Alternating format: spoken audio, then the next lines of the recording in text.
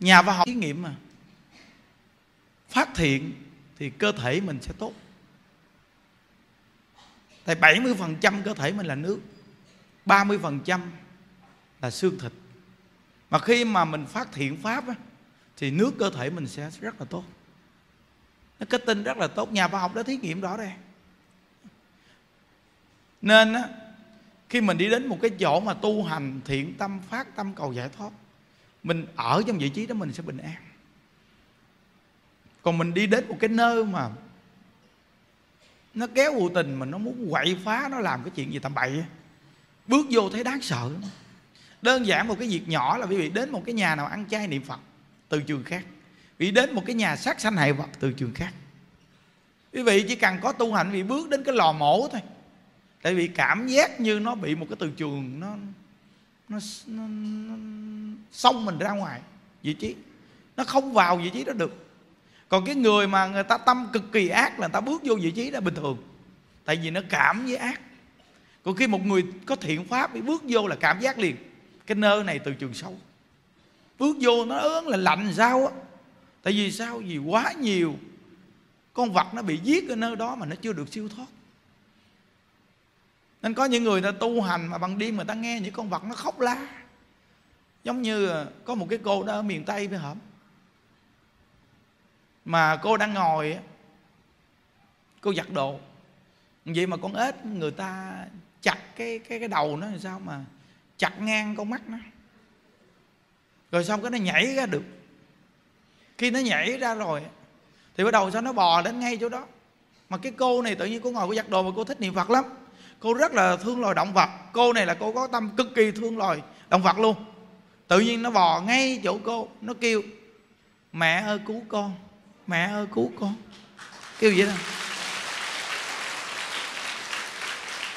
Thì bắt đầu à, bà nghe vậy rồi thì bà, bà không có nhìn thấy nó mà bà nhìn thấy mấy cái rộng cá. Nghĩ rằng là mấy con cá nó kêu thế thả chân cá luôn rồi xong rồi bắt đầu là tiếp tục ấy, ngồi phải giặt đồ, xong nó kêu mẹ ơi, cứu con. Bà kiếm chứ qua thấy con ếch nó bị gì? Bị chặt. Ờ. Chặt mà đứt ngang hai con mắt.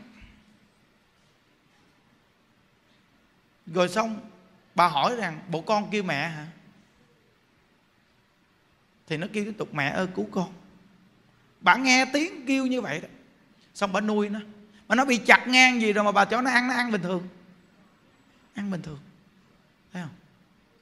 Nên quý vị thấy rằng là có những cái nhân duyên đặc biệt mà tự nhiên mình cảm được với cái loài vật đó. À. tại vì trong kinh phật nói rõ ràng, tình dữ vô tình động viên chủng trí tất cả chúng sanh đều có đức tướng và trí tuệ của như lai. Đừng có nói là động vật, cả thực vật còn cảm giác được sự thương yêu. Nhà khoa học trường đại học người ta thí nghiệm rõ ràng. Người ta để hai cái chậu cây. Một bên là người ta để một cái danh từ thương yêu một bên là để một cái danh từ độc địa, độc ác. Vậy mà trong một tháng sau, cái cây mà để danh từ thương yêu nó càng tốt. Còn cái cây mà chửi mắng nó nó chết queo. Nghe thấy chưa? Nên từ nó đó, thực vật mà còn cảm nhận được sự thương và ghét, không chỉ là động vật. Từ nơi đó khi chúng ta mà mà phát tâm tu đạo tin sâu nhân quả rồi, cái chữ hiếu mình mở rộng ra từ con người cho tới loài động vật nên mình mới ăn chay trường. Khi mình ăn chay trường là do cái tâm hiếu thảo của mình mở rộng ra. Vì Phật dạy tứ sanh phụ mẫu. Vì thấy trong nhà Phật cái cái chữ hiếu mở rộng đến mức nào chưa? Nên từ nơi đó mà mỗi một con người chúng ta phải nhớ kỹ rằng bản thân mình khi đứt tay một chút mình đã đau cỡ nào, mình đi kiếm băng keo cá nhân mình băng lại liền. Còn bây giờ cái con vật mình chặt tay chặt chân mình lột da nó mổ bụng nó để mình ăn thịt thì nghĩ sự đau đớn nó cỡ nào? Nếu quen ngược lại bản thân mình là nằm trong cái chảo bị chiên, thì vì nghĩ cỡ nào chưa? Nó cũng biết kêu la nhưng chúng ta không hiểu được tiếng kêu la của nó. Đại lão hòa thượng tình không giảng thuyết rằng là sáu đời mà sanh vào gia đình, năm đời là sanh loài động vật, bị con cháu giết. Đời thứ sáu là sanh làm người, nhớ lại năm đời, kể cho gia đình nghe. Nên trong gia đình của mình, con vật ở trong nhà, từ con chó, con mèo, con gà, con vịt. Nó toàn là cái sợi dây giao kết nhân duyên, giao thoa cùng với gia đạo là từ thăng bằng, quyến thuộc. Nhớ. Quý vị biết vì sao mà chùa mình những đức để máy niệm phật xung quanh không? Vì tất cả những chúng sanh có duyên sẽ đi đến đây. Mình không biết nó có lỡ chết vị trí nào, nó cũng nghe điều niệm phật ví dụ trên nóc chùa to vậy, có những con vật, con chim nó bay nên nó yếu, nó chết trên đó. Có những vị trí xung quanh nó sẽ chết bất tử. Nơi nào nó cũng nghe niệm phật. Có một cái cô cô đi đến chùa, không phải đi đến chùa, mà đi ngoài đường. Ừ. mắc vệ sinh quá. Cuối cùng, ghé vô cái kẹt, đi vệ sinh nghe tiếng niệm phật những đức gì mà được độ. À chưa? Thấy đặc biệt không? Nên trong cái cuộc đời này có nhiều cái được độ lạ kỳ. Hiểu không? Nhân viên không đó quý vị à. Ừ, nhân viên không đó. Thí dụ như người ta cũng từng độ mình bằng cách đó. Bây giờ mình độ người ta bằng cách đó có những người thì ngồi chánh diện để độ có những người thì ngồi trong kẹt để độ. Có những người đi cầu để độ. À, tại vì phật độ chúng sanh có nhiều phương tiện. Phương tiện nào mà nhân viên mà phù hợp là độ chúng sanh nhân viên đó à. Nên mỗi một con người mình quý vị à cái chữ hiếu mới mở rộng ra. Đã nói là đạo phật là đạo hiếu. Nên từ cái tâm hiếu mà ăn chay trường từ cái tâm hiếu mà thương người. Vì thấy những đức ngày xưa chưa đi tu mà thương ai? Vì mà sao càng tu càng thương người? Nghĩ bao nhiêu việc cho người ta vui? Có khi mà nhà đức mua đồ ăn, các cô nhà đức có ăn miếng nào đâu. Mà nhà đức vẫn nhìn thấy người ta ăn mà nhà đức no. Cái cảm giác này một trăm phần trăm mấy cô thấy rõ ràng không? Những đức có ăn đồ ăn gì đâu khi ngồi chung với mấy cô. Toàn là thấy mấy cô ăn mà những đức no. Cảm giác đặc biệt ghê không? Đó. Nên tại vì mình học phật mà nói mình tin sâu nhân quả chứ cái, thật sự cái sự tin sâu nhân quả của mình nó không có sâu sắc. Nên khi mình lo cho người ta mình kể lễ chứ thật sự thì nhân duyên hết quý vị à. ví dụ như người chồng này lo cho người vợ mà lo từng ly từng tí lo quá trời lo mà vợ nó bỏ. Bắt đầu người chồng này lỡ gặp ông thầy người chồng nói thầy ơi thầy sao mà vợ con nó đối xử với con tệ bạc vậy thầy? Con đối xử tự cho nó từng ly từng tí từng chút khi nó nằm ngủ mà con cầm quạt, con quạt nó luôn thầy. Vậy mà nó đành đoạn nó thấy thằng khác, nó bỏ con đó thầy. Thì xong những đức nói thì anh buồn, anh cứ khóc đi. Anh cứ khóc, anh chút hết nước mắt buồn phiền đó ra đi. Rồi nhà đức nói cho anh nghe. Xong anh khóc xong rồi nhà đức nói. Nói rằng anh à người ta cũng đã từng chăm sóc anh. Cũng như bây giờ anh chăm sóc người ta. Người ta chăm sóc anh nhiệt tình mà anh bỏ người ta bây giờ anh chăm sóc người ta nhiệt tình, người ta bỏ lại. Mà sự khổ đau của anh bây giờ còn nặng hơn. Sự khổ đau kia. Vì cái gì cũng có lờ á nè. Cái gì cũng có lờ nên khổ đau cũng phải lờ phải phải nhớ kỹ nghe. Đó. Bây giờ á, người ta thì sanh con con người ta hiếu thảo với người ta mà mình sanh con con mình lại không hiếu. Thế thấy lạ không? Mình trách số phận này kia. Không. Có khi đứa con này đời này nó làm con mình nhưng có khi đời trước nó là cha mẹ mình. Mà mình đã từng làm con mình bất hiếu với cha mẹ mình bây giờ nó quay ngược lại. Quý vị biết rằng luân hồi xây chuyển lộn ngược lộn xuôi. Bữa nay làm cha mẹ người ta mai mốt có khi làm vợ chồng. Rồi làm con cháu rồi làm dâu rể tùy theo nhân viên mà đến. Có một á, câu chuyện khi á, mà cái ông này ông ác lắm ông hành hạ cái thằng này. Thằng này khi nó chết đi nó gặp vua diêm dương nó nói con được thăng người nhưng con muốn lỡ cái gia đình đó báo thù. Vua diêm dương nói à được nó thiếu nợ thì mày đến mày báo thù thôi. Vì tao cho mày làm cha nó đó để mày báo thù. Vì làm cha mày muốn làm sao làm. Thằng đó nó nói không cái vui dương nói vậy tao cho mày làm ông nội nó đó. Còn hơn cha nó đang mày báo thù. Không, tôi không làm ông nội luôn. Ủa, sao làm cha làm ông nội mày không chịu? Không lẽ mày muốn làm ông cố nội? Mày báo thù. Nó không, vậy mày làm gì mày nói đại đi. Không không hoài. Tôi muốn làm con. Nó tự làm con. À dương dương cứ nghĩ đi. Làm ông cố nội hay làm ông nội làm cha gì cũng phải lo cho con cháu. Chỉ có làm con được thương yêu lo lắng mà trở mặt lại, đó mới sự đau khổ. Đó. Hiểu không? Mình thiếu nợ người ta người ta đến người ta đòi nợ mà.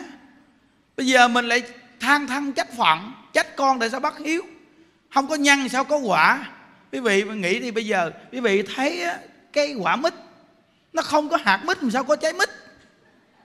Nghĩ đi. Bây giờ bây giờ mình thấy cái trái gì thì phải có cái hạt đó. Hạt là nhân nhân quả nó phải tương đồng. Còn nếu như không có hạt thì cũng phải cắt ghép.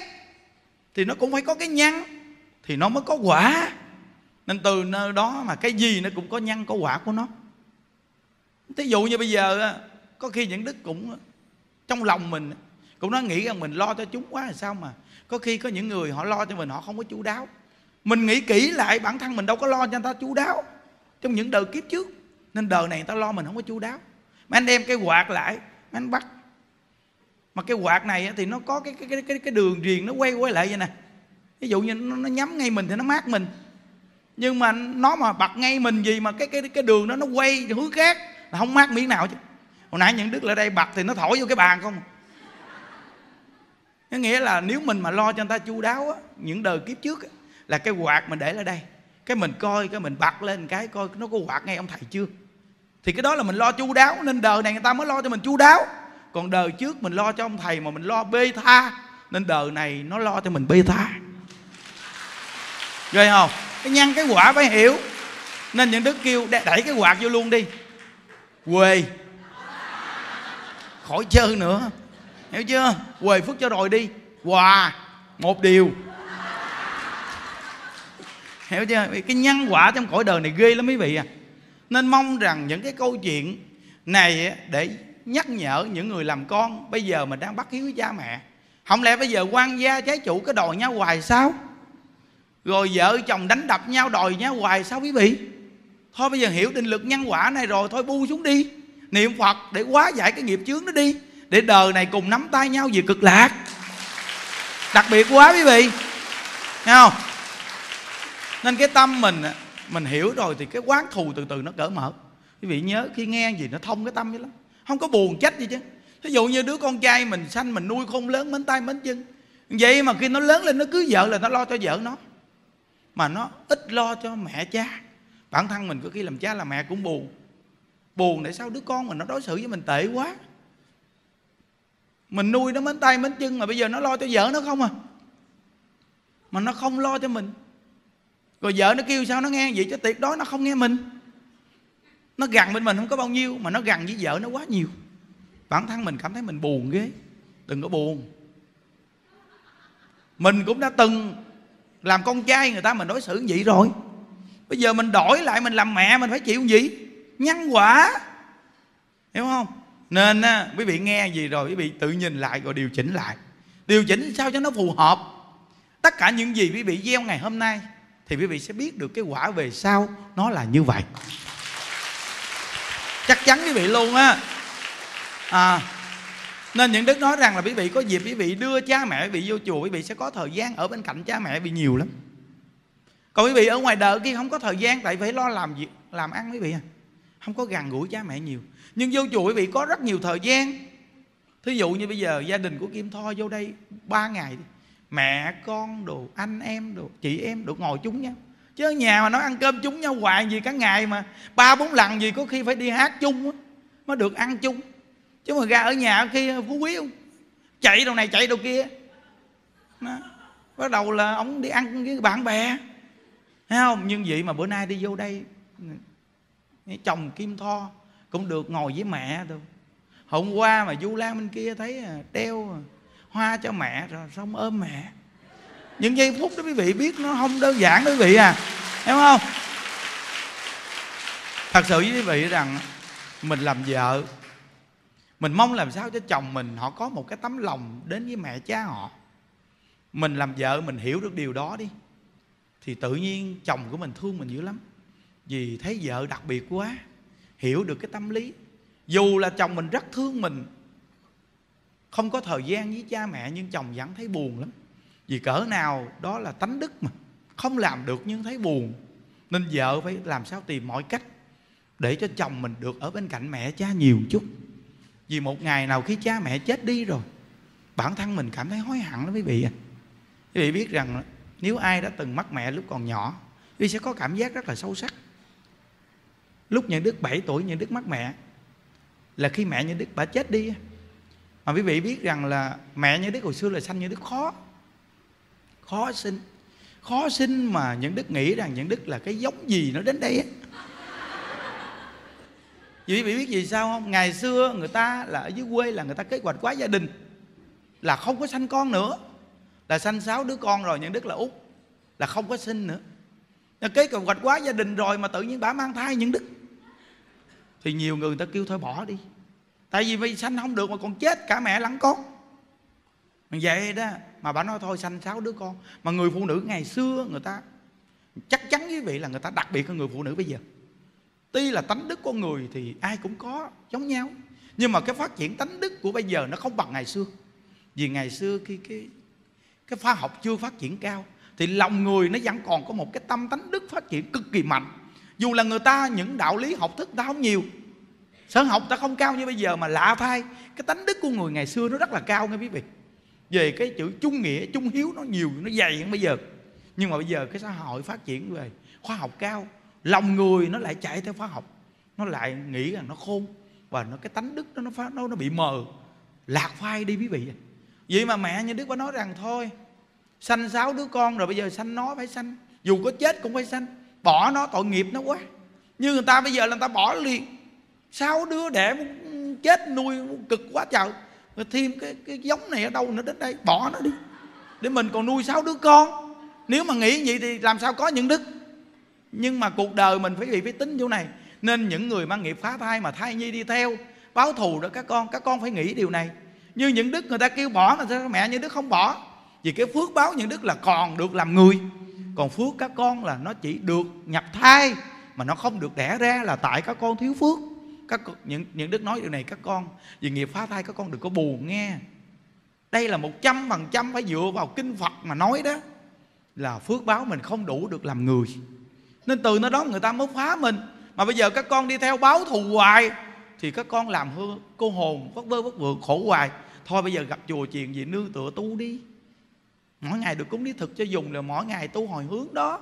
Nhận đức giảng pháp cho nghe, đưa bổ nguyện niệm phật đi cầu sanh cực lạc đi thì quý vị biết rằng là cái phước nhân đức được làm người mẹ nhân đức bà đâu có bỏ nhân đức đâu. Bà mang thai bà cố gắng bà sanh. Bà sanh ra rồi nghe nói nhỏ xíu rồi mình cũng không biết mà nghe kể lại là rất là nhỏ. Nhưng mà người ta bây giờ sanh con mà kiểu mà non nớt người ta còn đi đưa vô bệnh viện còn à, cái gì hấp nồi cơm gì đó, đó. Còn mình hồi xưa nghèo thấy mồ luôn hấp cái gì? Sanh ra mà nằm chuồng bò luôn chứ hấp.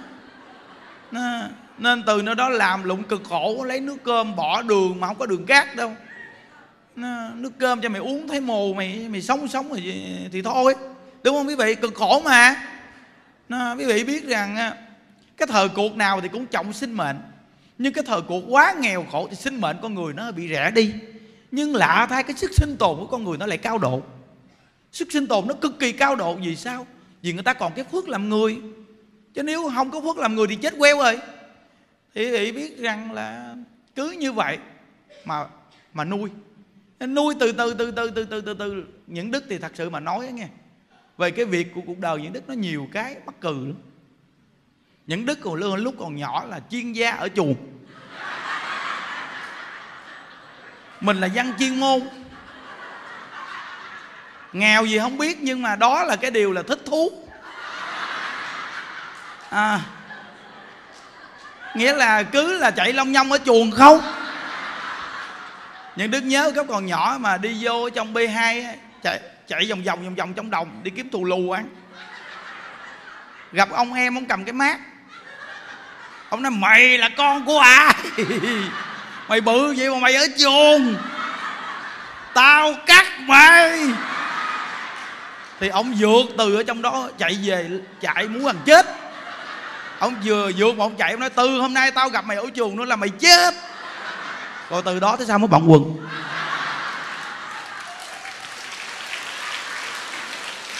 Thấy không?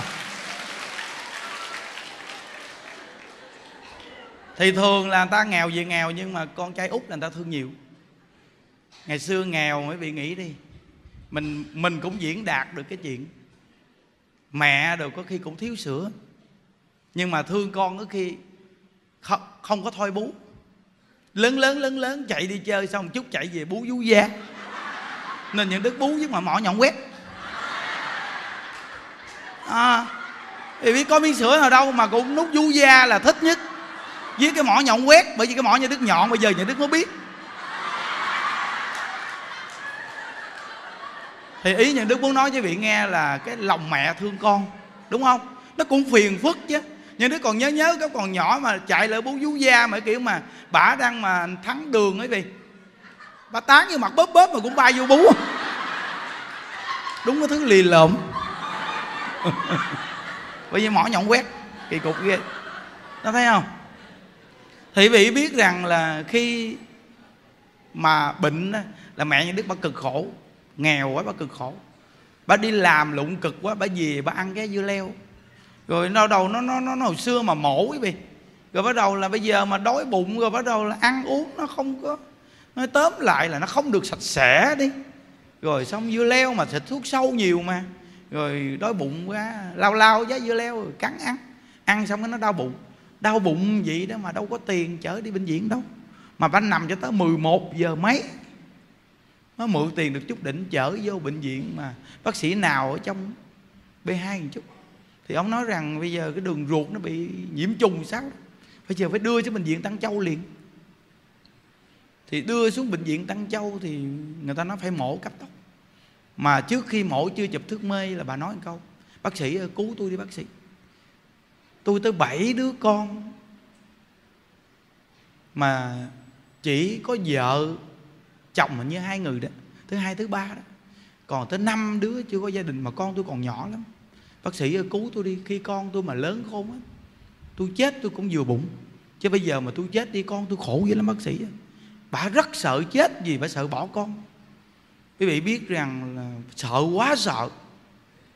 Kiểu nghèo mà có bao giờ đi bệnh viện khám bệnh gì đâu, mà cái việc mà đưa vô mổ là thấy sợ dữ lắm rồi, mà đã mổ một lần đã sợ rồi cái cảm giác mổ một lần mà mổ lại là sợ lắm quý vị. Thì quý vị biết rằng là vừa chụp thuốc mê một cái thôi, bà chết. Nó nghĩa là gạch bụng nhẹ thôi, bà chết. Chết xong rồi người ta nghĩ rằng như thế nào đó, xong ta tránh bớt, người ta nói thôi, chuyển xuống châu đốc.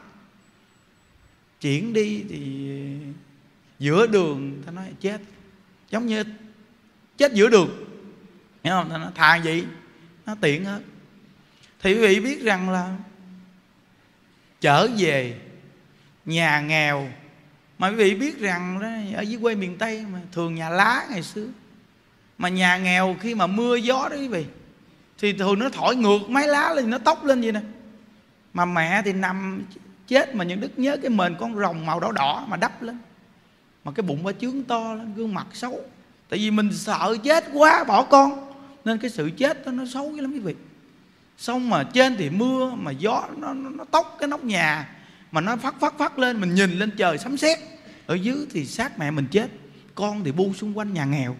Hồi xưa chưa có điện sống đèn leo lét. Thì nghĩ cái cảnh tình đó là sao quý vị? Mà khi đưa về mà mà mà mà, mà nằm chết đó quý vị tọa mình ra phía sau hè nhà sau lưng sau hè có cây sung có một cái vườn chuối nhìn ra là một cái ruộng lúa mình mà toàn là đất người ta không mà nhà mình cả, nhà mà cũng ở đất đất mượn của người ta, vì nghĩ nghèo cỡ nào chứ. Nên cả đời của cha mẹ khổ, cực kỳ khổ. Chưa bao giờ biết ăn một cái miếng bánh kem nào.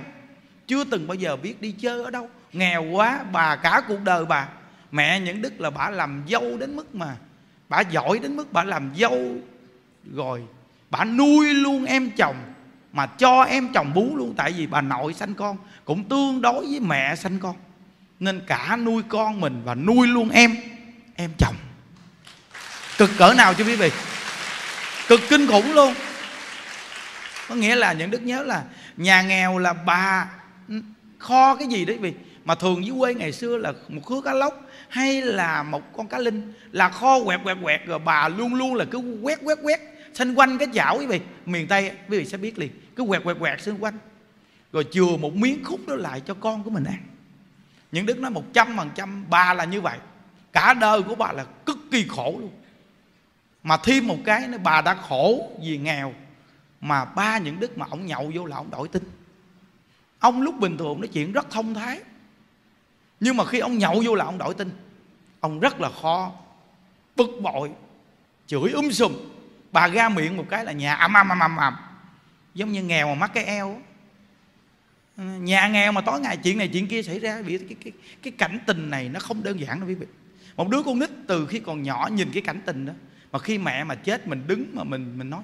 Cái cảm giác quý vị khi mà mất mẹ bị sẽ hiểu được cái chuyện.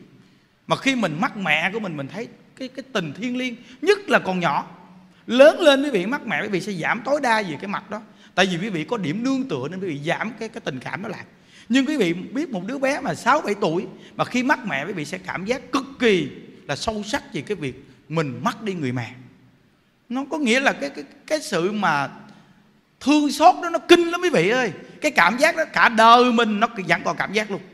Nó vẫn cảm giác cả đời luôn đó quý vị.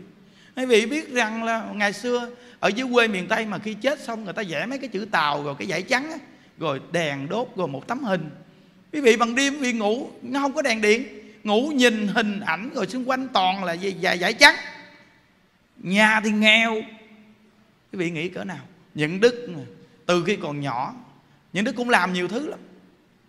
Cũng làm nhiều thứ nghèo mà. Mọi người phải kiếm ăn thôi. Móc đậu, móc lúa, tác dụng, văn câu, văn lưới, làm đủ chuyện hết. Nó nên cái cảm giác của cuộc đời mình sâu sắc, mình trải nghiệm cảm giác hết chứ. Nên từ nơi đó mà sau này còn còn ba những đức, thì bắt đầu là những đức sống ờ, với ba của mình năm 17, 18 tuổi những đức lên thành phố. Sau này năm những đức hai mấy tuổi ba những đức cũng chết luôn. Nên những đức nói thấy rằng là mình có được cái nhân duyên mình ở trong chùa mình nuôi các cụ già. Tự nhiên mình cứ nghĩ cha mẹ mình ngày xưa nghèo chưa từng bao giờ ăn được một miếng gì ngon quý vị bây giờ trong lòng những đức nghĩ rằng những cái gì mà mua được cho các cụ ăn những đức mong rằng mình mua cho các cụ ăn. Những cái gì mình chưa làm cho cha mẹ mình được bây giờ mình biết tu mình mong mình làm cho cha mẹ của mình bây giờ đang ngồi đây nè. Thấy không? Quý vị biết rằng cuộc đời những đức á, nói hai chữ sinh nhật là rất mắc cỡ quý vị. Phật tử người ta tổ chức sinh nhật đó là chuyện của người ta đó mình ngồi mình tùy duyên thôi. Chứ bản thân của mình nghĩ tới cha mẹ mình ngày xưa sinh mình nghèo khổ quá trời mà sao mình dám nghĩ điều này? Mà bây giờ mình đi vô chùa tu mình nhận hạt gạo chúng sanh sinh nhật cái gì? Nên từ nơi đó còn chúng sanh người ta thích làm sao là chuyện của người ta. Mình là ông thầy mình mang tâm tỳ hỷ vì phật tử người ta quý mình người ta cũng muốn làm cái điều gì đó đến với mình. Mình từ chối hoàn toàn thì đó là không khác nào phụ lòng người ta. Phụ lòng nó không được đặc biệt quý vị à. Nên mình tu mình mang tâm tỳ hỷ cho những đức thì không bao giờ. Cuộc đời những đức mà có một cái cái chương trình gì như vậy đâu. Dù có đi chăng nữa nó cũng là một chương trình về sau mình lớn tuổi hay gì đó. Đó cũng là một chương trình giáo dục thì mới làm. Chương trình giáo dục mới làm. Hãy nhớ. Thì quý vị biết rằng á, là bản thân những đức mà hồi xưa trên thành phố mười mấy năm, mà những đức trên thành phố chỉ là ăn chơi chứ nói mà ăn uống, sống cái gì đặc biệt. Nên bây giờ những đức ở trong chùa mà những người trẻ đi cùng với những đức con đường này mà nuôi người già, những đức nói những đức cố gắng, lo cho họ cố gắng cho tốt. Tại vì họ có duyên với mình đi con đường này với mình đặc biệt quá, nên những đức cố gắng quý vị những đức thấy người trong chùa mình, người trẻ trong đấy nhiều, họ sống ở đây chỉ quanh năm suốt tháng, có những cô đi đi cùng với những đứa con đường này bảy, tám năm, chưa từng về nhà luôn. Thì vì nghĩ đi, nó không đơn giản chút nào. Đó là đồng hành, cùng nuôi người già, đã bao nhiêu đợt cụ già đi à. chùa mình một năm chờ, trung bình mắc cũng khoảng năm, sáu chục người già. Một năm chờ mấy đạo tràng mình là như vậy. Thì quý vị biết rằng đôi tay những đức đã ginh bao nhiêu cái quan tài. Hồi xưa 5 năm những đức trên Đà Lạt, chùa nuôi một ngàn năm trăm người một tuần vậy là mắc sáu bảy cụ. Tuần nào cũng sáu bảy cụ, sáu bảy cụ. Khi người ta cúng dường quan tài, cúng làm cả trăm cái quan tài không? Nên những đức đã nhìn được cái vô thường của đời người và tiếp tục nuôi người già, cứ nhìn vô thường của con người. Rồi nhìn bao nhiêu con người giàu rồi nghèo nghèo rồi giàu, thấy đó rồi chết đó. Cực kỳ vô thường luôn, nhìn ra được hết. Cuối cùng cho những đức một tư tưởng nhìn nhận rằng, đúng là cuộc đời này rất vô thường. Nên những đức thích, rất thích cái bài kệ màu chưa những đức đọc, cõi thế trăm năm một kiếp người, ai rồi cũng phải trở về thôi, phải sống sao cho thật ý nghĩa, để buổi ra đi nở nụ cười. Thích lắm quý vị, rất thích bài kệ này luôn. Nên cuộc đời có người giàu sang nó phù du lắm quý vị ơi. Mạng người nó cực kỳ phù du luôn, ảo ảnh lắm. Nên từ nơi đó những đức mong rằng những người còn cha, còn mẹ, vợ chồng được sống với nhau, gia đình được gặp nhau, anh em được ở bên nhau. Quý vị à quý vị hãy trân quý cái mối chăn tình này đi. Đừng đợi một ngày khi chúng ta xa nhau mất đi thì chúng ta lại hối hận. Đừng nên dùng chữ hối hận khi xa nhau. Mà hãy trân quý nhân duyên mà được ngồi bên nhau gì nè quý vị. Nên những đức nói cảm giác, những đức đi tu ấm áp ghê.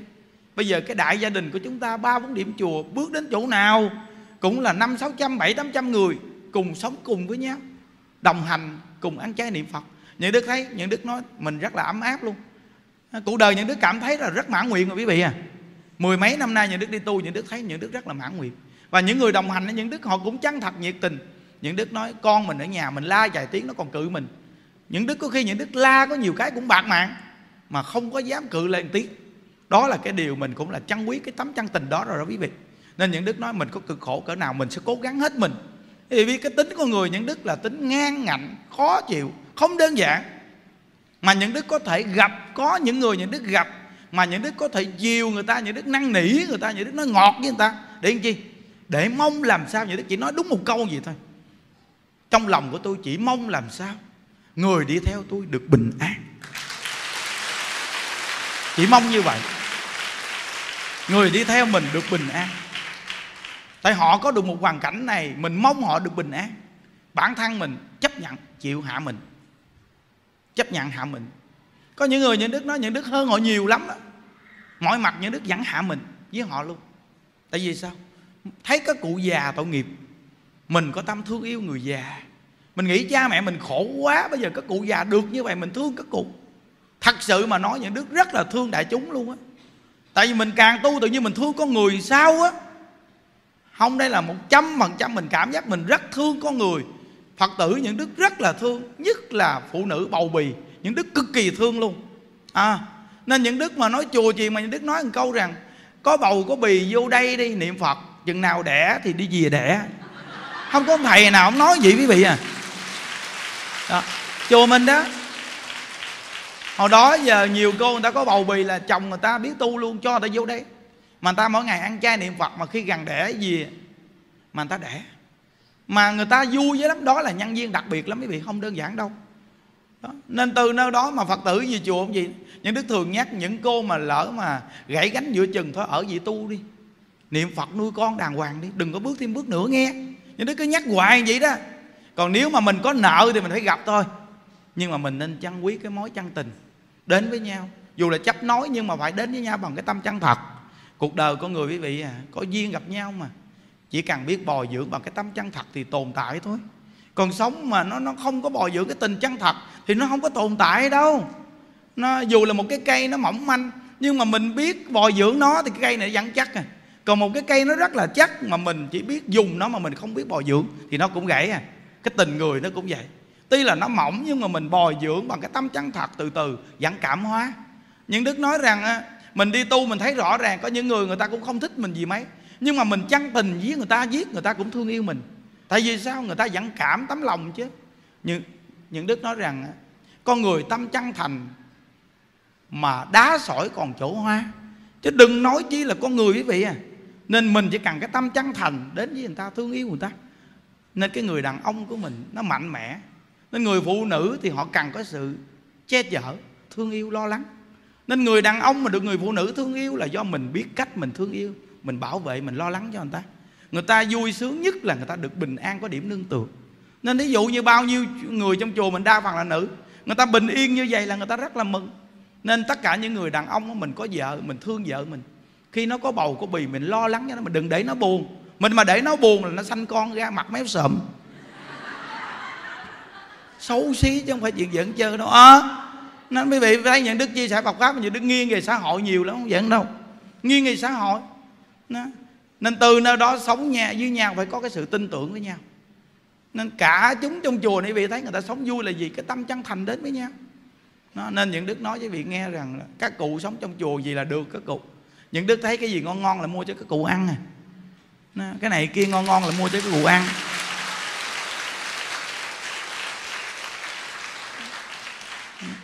Ví dụ như chạy qua bên kia bệnh chạy về, có khi cũng chạy qua chơi với mấy cô một chút kệ nó gái mà. Bảy, tám chục đứa nó quy về chỗ vẫn hay hơn, là nó tản mát tùm lum. Nó quy nhất vẫn là hay hơn. Nó, thí dụ như trong nhà mình đi mà bốn thành viên mà lúc nào cũng tối lại là ở nhà không chơi chung nhau bị hạnh phúc cỡ nào chứ? Vậy mà nhà chúng ta, chùa chúng ta bao nhiêu trăm người.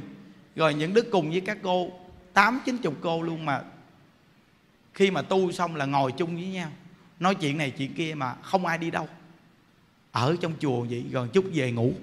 Quý vị thấy không? Cái này không đơn giản nha quý vị. Không đơn giản chút nào luôn, nói thiệt luôn á. Nó rồi chủ nhật đồ nhà đức đi qua mấy điểm đạo tràng, từng nhóm từng nhóm từng nhóm. Động viên khuyên nhau, động viên khuyên nhau. Mình khuyên người ta là mình đang khuyên mình. Đó là từ cái tâm hiếu mà ra không đó quý vị. Không có chữ hiếu đố mà nghĩ được chỗ này. Đều là từ chữ hiếu. Vì bây giờ những người nữ trẻ này, họ cũng là mẹ mình đó mình phải làm sao mình bồi dưỡng cho họ để họ tu.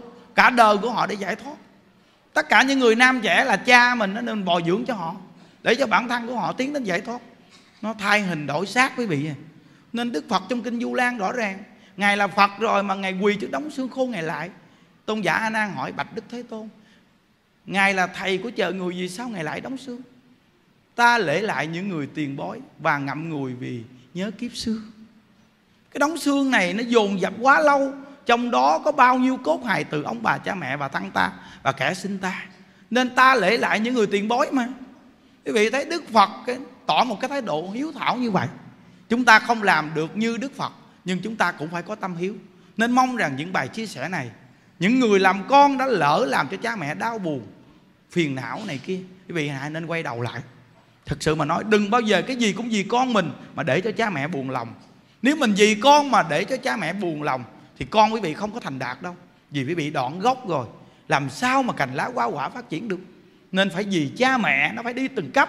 Vì cha mẹ, con mình sẽ vì mình. Nó từng cấp từng cấp như vậy thì gia đạo mới thịnh. Còn mình vì con mình mà bỏ cha mẹ, thì tức khắc nó không có thịnh đâu quý vị gia đạo nó không có tốt đâu. Nên từ từ đó mà phải hiểu nguyên lý này. Nên người làm cha, làm mẹ, tuổi già, mà con biết tu, dẫn dắt cha mẹ đi đến chùa tu lê rai lê rai để cho cha mẹ mình ở nhà có cái pháp tu. Những đức nói một chiếc máy nghe pháp thôi, hoặc là chỉ cha mẹ mình mỗi ngày nghe những đức giảng thôi. Cỡ mở tâm tư hết trơn. Tại vì những điều những đức nói nó gần gũi quá. Rồi những cô ở đây mình, ở đây mình tu là mình cũng đang hiếu với cha mẹ mình. Các thầy, các chú ở đây tu là đang hiếu với cha mẹ mình. Các cụ ở đây tu là đang hiếu với cha mẹ mình.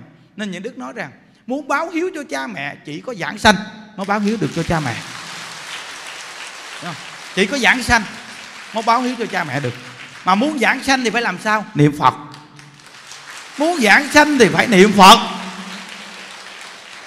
Mỗi lần buồn ai cứ ai với đạo phật đi. Mỗi lần làm ăn được cũng ai với đạo phật đi. Mỗi lần làm ăn không được cũng ai với đạo phật đi.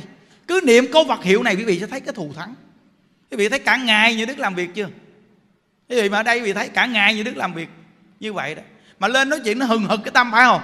Mà có quyển sách gì trước mặt đâu mà tại sao như đức nói chuyện được như vậy vì sao? Niệm phật. Cả như đức tắm như đức còn niệm phật. Nhưng đức cứ thường niệm phật nên như đức rất là vui. Vì tất cả những cái lo âu nó bỏ vào câu vật hiệu đồng hóa liền.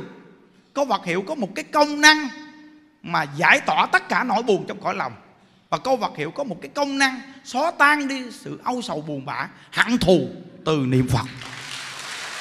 À, câu vật hiệu có công năng như vậy đó quý vị à nhưng đức nói quý vị đang buồn vì cái gì? Hoặc công ty làm ăn gì suy nghĩ không ra. Quý vị lên quý vị lễ Phật 45 phút chân thành đi quý vị sẽ thấy. Đây là cái sự kinh nghiệm cuộc đời như đức rõ ràng. Có những cái nghĩ không ra lễ Phật 45 phút tự nhiên lúc lễ Phật danh hiệu Phật có diệu pháp âm giảng cho mình nghe. Bạn nên làm như vậy đó. À, đây là xác thực một trăm phần trăm mà. Nên quý vị thấy cái việc gì như Đức làm cũng thành công mà trong khi những Đức chưa từng ghi chép cái gì sẵn? Một chương trình lễ ba bốn ngày. Vì thấy có thấy chùa ai mà tổ chức mà ba bốn ngày lễ không? Người ta tổ chức một buổi gì là ta nghỉ rồi, chịu không nổi. Còn chùa mà tổ chức ba ngày, Diếu Quan Âm mà như Đức tổ chức 4 ngày. Mà người ta mười mấy ngàn người ta ở đây, thì nghĩ sao? Không đơn giản đâu. Nó gì mà nó im điềm đâu vào đó trơn là gì? Niệm phật, giảng pháp. Còn nếu như bỏ đại, bỏ càng cho họ họ quậy tanh bành đừng nói chuyện dẫn chân không cho họ tu. Không có bốn thờ đó mình lên chánh điện cùng với họ đi. Mình bỏ đại cho họ đi. Nhiều người dưới quê họ lên họ chưa biết á. Tò ơi họ đứng gốc cây, họ xỉa gốc cây. Đứng đâu xỉa đó. Không phải đơn giản quý vị à. Người quê người ta đâu có biết. Người ta nghĩ rằng ở dưới quê mà đi đâu mắc tiểu, đứng tiểu đại. Không, người việt nam mình ưa tiểu bậy. Nhất là mấy ông uống rượu hiểu không? Nên từ nơi đó mà quý vị biết rằng à, nhờ vô chùa mà tu đưa lên khuôn rồi chỉ người ta nó đỡ tối đa. Mười mấy hai chục ngàn người trong chùa vì nghĩ đơn giản hả? như lễ với ngâm bữa đó đó. Hai chục ngàn người trong chùa vì nghĩ đi. Vậy mà đâu vào đó dân lễ xong gọn hơn mà anh em đồ mấy thầy đồ nhiệt tình với chú nhiệt tình chung tay làm xong là gọn hơn quý thấy không? Cái này không đơn giản đó. Đó đó là một tổ chức một phật gia hộ. Chứ ai nói được họ? Họ cũng như những đức thôi. Nói họ kênh lại thôi, tao đi. Chứ làm gì nhau? Bây giờ quý vị nói một tiếng là họ nghe răm rắp. Không đơn giản, phật lực giá gì mình ở nhà làm cha làm mẹ mình nói con nó không nghe mà. Vậy mà nhà đức nói một tiếng, bao nhiêu con người ta nghe? Phải nương vào cái đức của phật để dùng cái đức để mà dạy con người. Hiểu không? Cái này là một trăm phần trăm nên nó nguyện tam bảo gia hộ cho tất cả những người con. Làm gì cho cha mẹ đau lòng hoặc làm cho cha mẹ bắt ờ, làm cho cha mẹ bất an, lo lắng. Thì thôi bây giờ quý vị, quay đầu hướng thiện. Quay đầu là bờ nghe. Và nguyện đem cái công đức này hồi hướng cho tất cả những người con bắt hiếu. Khắp nơi nơi, lỡ bắt hiếu với cha mẹ, hoặc là hút chích xì ke ma tí làm cho cha mẹ đau lòng. Nguyện đem cái công đức này hồi hướng cho quý vị, chân thật quay đầu để mà hướng thiện để đừng làm cho cha mẹ đau lòng nữa.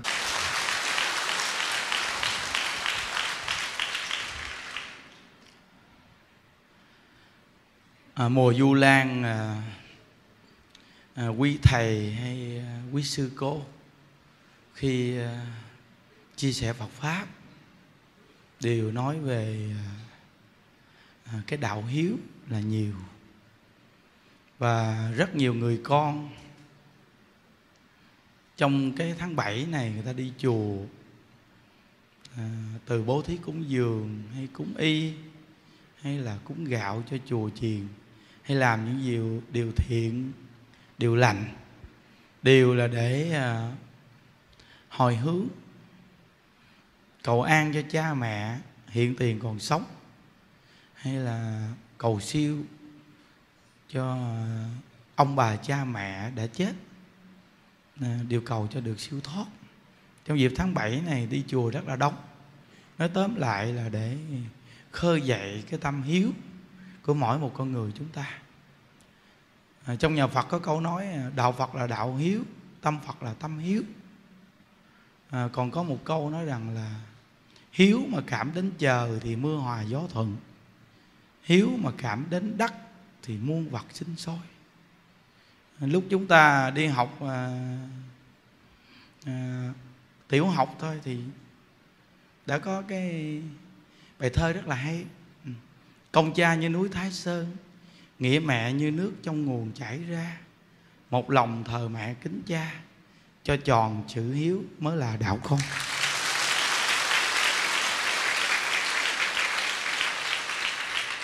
À, điều để nêu lên à, cái tâm hiếu thảo. Nơi nào mà mưa không hòa, gió không thuận, thì nơi đó người ta không tiếp nhận giáo dục, con cái bắt hiếu nhiều. Những đức từng nói một câu rằng à, giọt nước trước nhiễu người sau, thì giọt nước sau nhiễu như vậy à. Thì bản thân chúng ta làm con đối xử với cha mẹ làm sao? Thì chúng ta sẽ biết được con mình đối xử với mình vậy à, à bổn phận của mình làm dâu làm rể đối xử với à, à, cha mẹ chồng cha mẹ vợ thì sao? Thì sau này chúng ta có con trai con gái thì dâu rể mình đối xử với mình vậy à? Nên trong nhà Phật mới có câu là muốn biết nhân đời trước xem quả báo đời này. Muốn biết quả báo đời sau xem nhân đời này không? Nhân quả nó rất rõ ràng, xác thực dữ lắm luôn. Chúng ta chỉ cần à, nhận thức sâu sắc một chút thôi thì mình, tự nhiên mình phát hiện tâm liền. Nhưng đức mong thì sao mà trong cái mùa du lan này chúng ta sẽ có nhiều bài chia sẻ Phật pháp về đạo hiếu.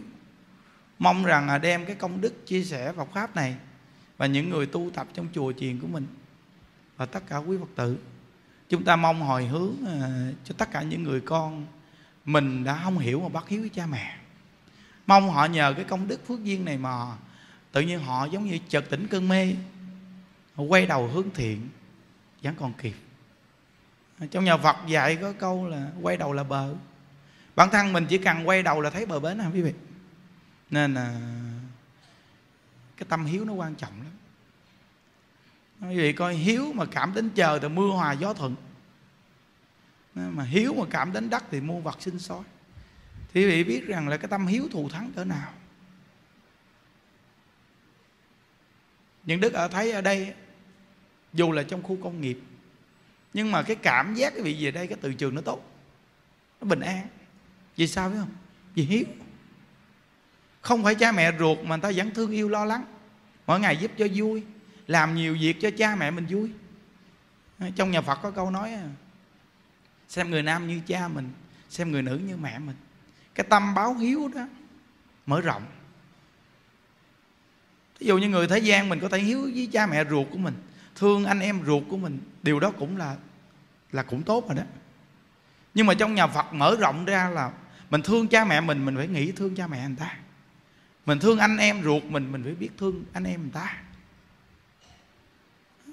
À, những cái gì mình không muốn thì đừng đem cho người. Nhắc mình quý vị thấy rõ ràng không? Nên trong nhà phật mở rộng ra chứ lắm. Từ nơi đó mà ở đây lo cho nhiều người già. Quý phật tử người ta cũng về đây người ta tu tập. Có những người già có những người, người ta vô chùa mình tu. Mà cộng tu thôi mà vô đây mà thọ mạng đến người ta đi trong chùa. Mình vẫn lo như các cụ thường trụ. Rồi có những cô chú thầy tu ở đây mà cha mẹ được vô đây tu.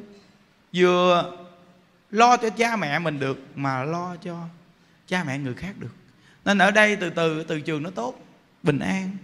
Cảm thấy nhiều người ta bước vô người ta cảm thấy bình an. Cách đây tuần lễ có ông mỹ. Ông à, có những người ta tu cái mối đạo mà người ta cảm giác được từ trường quý vị mà gọi là thằng thông. Tự nhiên cái người ta bước vô chùa mình cái tự nhiên ông nói sao mà ở đây nó sáng quá à? Và cảm giác sao mà vô đây quá bình an. À.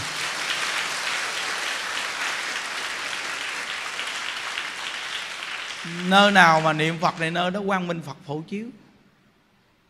Nên tổ sư nói rằng là quang minh phật a di đà soi gọi tìm người niệm phật. Thì nơi này quá nhiều người niệm phật thì quang minh phổ chiếu. Vì ở đây hai ba ngày, năm bảy ngày thì giống như quý vị được sống trong quang minh của phật bồ tát cái tâm trạng mình cảm thấy mình vui, quý vị nhớ nè.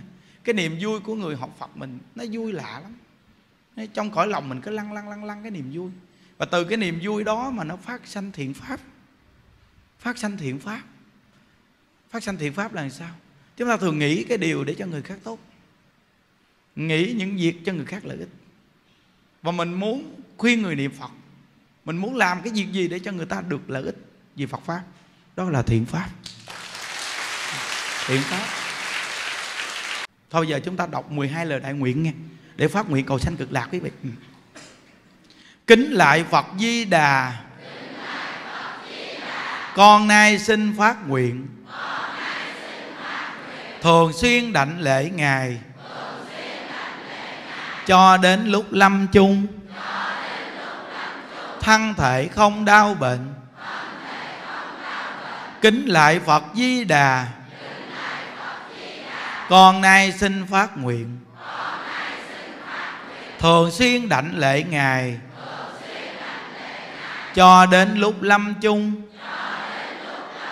Tâm hồn không hôn mê. Kính lại phật di đà. Con nay xin phát nguyện. Thường xuyên đảnh lễ ngài.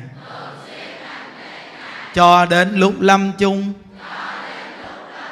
không tham đắm ngũ dục. Kính lại phật di đà. Con nay xin phát nguyện. Thường xuyên đảnh lễ ngài. Cho đến lúc lâm chung. Tâm niệm phật di đà. Kính lại phật di đà. Con nay xin phát nguyện thường xuyên đảnh lễ ngài. Cho đến lúc lâm chung. Xả ly ta bà khổ. Kính lại phật di đà. Con nay xin phát nguyện. Thường xuyên đảnh lễ ngài. Cho đến lúc lâm chung. Hoan nguyện về tịnh độ kính lại phật di đà. Con nay xin phát nguyện. Thường xuyên đảnh lễ ngài. Cho đến lúc lâm chung. Con thấy kim thân phật. Kính lại phật di đà. Con nay xin phát nguyện. Thường xuyên đảnh lễ ngài cho đến lúc lâm chung. Phật phóng quang nhiếp độ. Kính lại phật di đà. Con nay xin phát nguyện. Thường xuyên đảnh lễ ngài.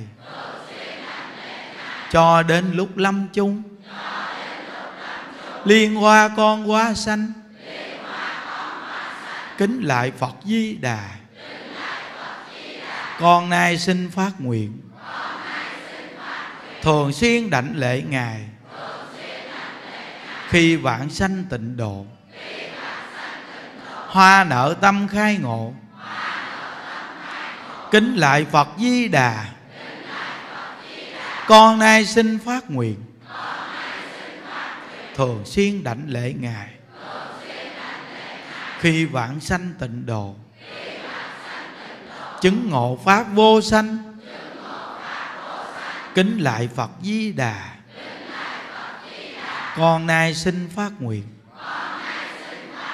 Thường xuyên đảnh lễ ngài. Khi vạn sanh tịnh độ. Chống viên thành toàn giác. À, trong tháng 7 này à, tất cả chúng ta tu tập đại chúng đồ với phật tử khắp nơi nơi nguyện đem cái công đức này mình cầu an cho ông bà, cha mẹ còn sống. Và chúng ta đều cầu siêu cho ông bà, cha mẹ mình đã chết. Nguyện cầu nhờ cái công đức này mà ông bà, cha mẹ mình được siêu thoát. Nhưng riêng bản thân những đức, cha mẹ mình mất hết rồi. Bên nội, bên ngoại, ông nội ngoại rồi, bà ngoại đồ cũng chết. Rồi anh đồ, con anh nó cũng chết, năm bốn bốn tuổi, với người chị cũng trẻ nên từ nơi đó mà đem cái công đức này cũng ngồi hồi hướng cầu siêu cho họ. Trong tháng 7 này mình hướng dẫn ta tu, tổ chức nhiều chương trình để mong hồi hướng. Rồi tất cả đại chúng, cái công đức cũng bình đẳng để mình hồi hướng cho người thân của mình. Nguyện chư Phật chứng minh để tất cả chúng sinh đều hướng cái tâm đến Phật pháp tu tập, để hướng đến giải thoát. Nam mô A Di Đà Phật. Nguyện à, đem à, công à, đức này hướng về khắp tất cả đệ tử và chúng sanh đồng sanh về tịnh độ.